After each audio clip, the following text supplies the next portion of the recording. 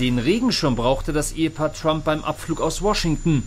Dort, wo beide heute unterwegs sind, ist das Unwetter längst abgezogen. Floridas Golfküste gleich nach Hurricane Michael einem Trümmerfeld. Viele schreiben die Intensität des Sturms auch dem Klimawandel zu. Dass der überhaupt stattfindet, räumte Donald Trump jetzt erstmalig ein. Ich glaube, es passiert etwas, etwas ändert sich, aber das geht auch wieder zurück. Klimawandel ist kein Witz, aber ob es menschengemacht ist, weiß ich nicht.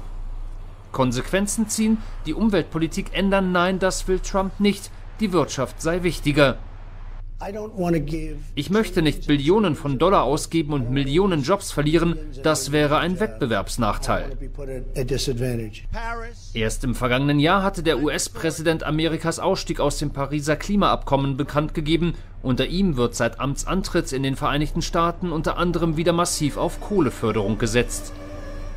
Studien wie zuletzt auch von den Vereinten Nationen vorgelegt misstraut Trump weiter. Man muss sich die Wissenschaftler anschauen, denn auch die haben eine bestimmte politische Einstellung. Trumps Einstellung dürfte der heutige Besuch im Katastrophengebiet in Florida kaum ändern. Schließlich habe es schon deutlich schlimmere Desaster in der Vergangenheit gegeben, so der US-Präsident.